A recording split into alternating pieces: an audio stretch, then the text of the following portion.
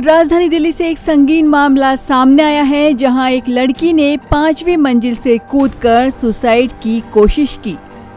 मामला प्रीत विहार इलाके का है। बताया जा रहा है कि युवती अपनी सहेली के घर मिलने आई थी, जहाँ उसने सुसाइड अटेम्प्ट किया।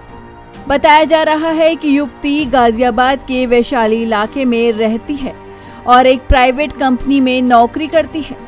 खबर ये भी है कि बॉयफ्रेंड से झगड़े को लेकर उसने ये खौफनाक कदम उठाया है। हालाँकि उसकी जान बच गई है, लेकिन स्थिति अभी भी नाजुक बनी हुई है।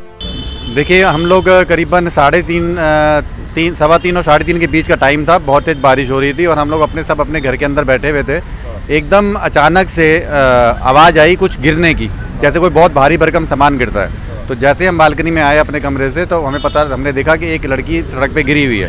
तो आ, हमने जैसे ही वहाँ पहुँचे तो देखा उसके सर से भी खून निकल रहा था और आ, हमने मानवता के नाते उसको उठाया मतलब स्थानीय निवासियों ने मिलकर उसको उठाया और उस उठाने के बाद उसको स्थानीय हॉस्पिटल मक्कड़ हॉस्पिटल के अंदर एडमिट कराया है।